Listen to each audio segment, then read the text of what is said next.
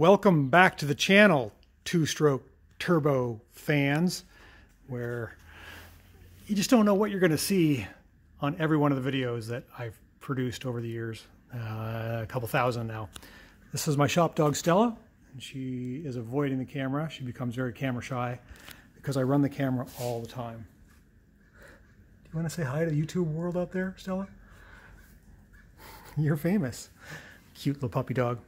So this wouldn't be a two-stroke channel.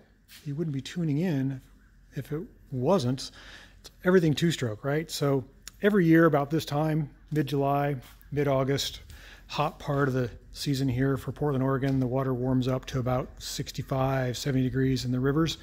And we start thinking about going out, um, cooling off. It's going to be 100 degrees tomorrow and 105, I think, on Thursday. And that's hot.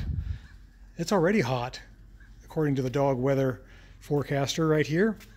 So this is a 440 cc 1983 jet ski, one of the early ones, a JS 440. Eh, the whole design and the power just isn't really up to it. it. Doesn't get used much. I've ridden it actually quite a bit, but that got the bug for these, which are 750s and a, later model hull design.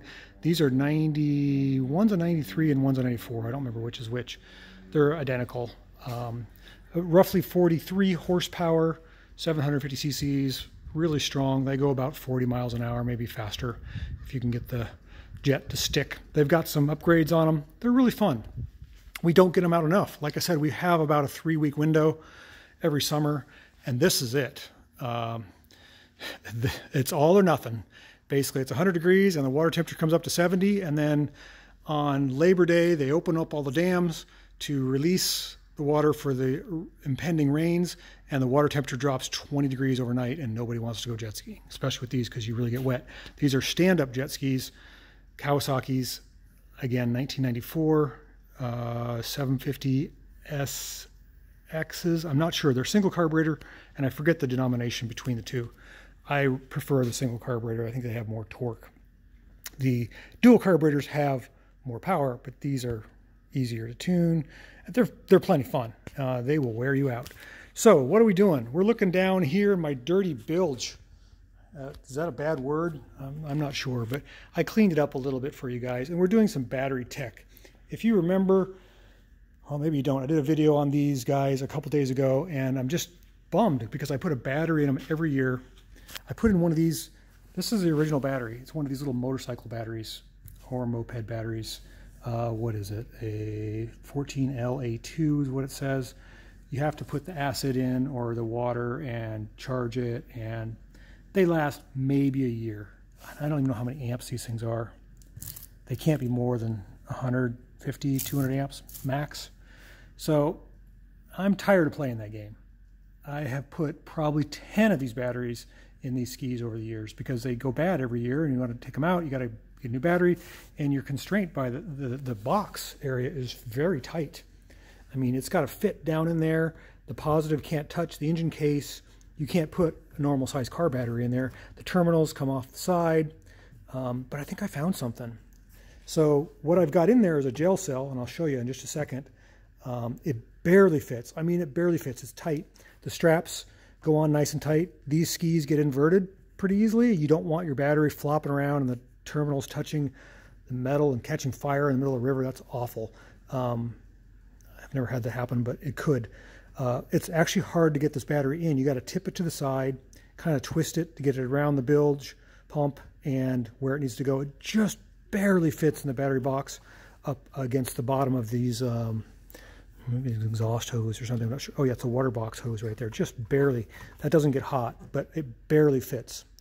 And that is made for the sit-down jet skis, what do they call them? Wave runners, Yamaha wave runners from uh, oh from 87 to 08. So that's for the wave runners, all Kawasaki Polaris and ATV. So it covers a lot. They look like this. They're a gel cell, so they can be inverted. They're already pre-charged, and they're $69 on Amazon. They're probably made in China, but they have 390 cold cranking amps. uh, 19 amp hours. I'm thinking I'm going to get a couple years out of these. What I'm going to do this season is I'm going to pull it out and keep it on the trickle charger, and I can use it in the microcars, which is fantastic. This other battery here is a U series. U series, yes, uh, for a it's called a U1 for the microcars. This is what I go to. It's a basically a lawn and garden tractor battery, 300 cold cranking amps. Um, they last about five to seven years if you trickle them. Have this in the Messerschmitt, the Isetta, all the Subaru 360s. The Honda 600s take a bigger one, but this is a really common microcar battery. And what I wanted to do was use one of these in lieu of that, but there's I couldn't. The, the size is just too big. This fits barely. You can see it's a little taller, but just enough smaller that it fits. And I'm very happy. So I'm going to put this battery in the other ski there and just listen to how this thing cranks up. So I'm going to press the go button here on the top. Where is it? There's the green button.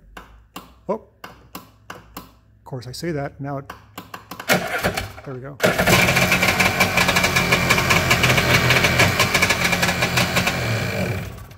My starter's got a little clicky clicky. It does it every now and then.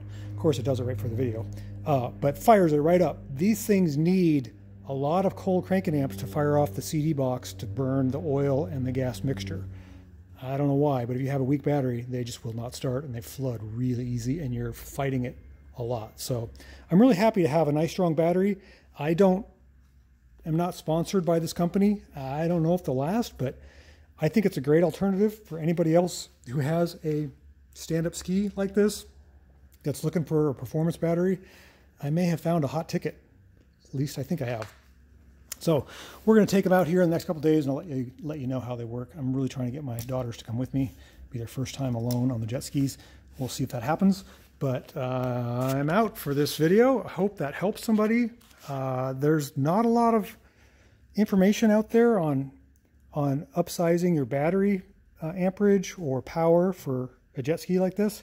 And I just want something that works. So again, sorry for the dirty bilge shot. And I hope I hope some I hope I help somebody with their battery on their jet ski.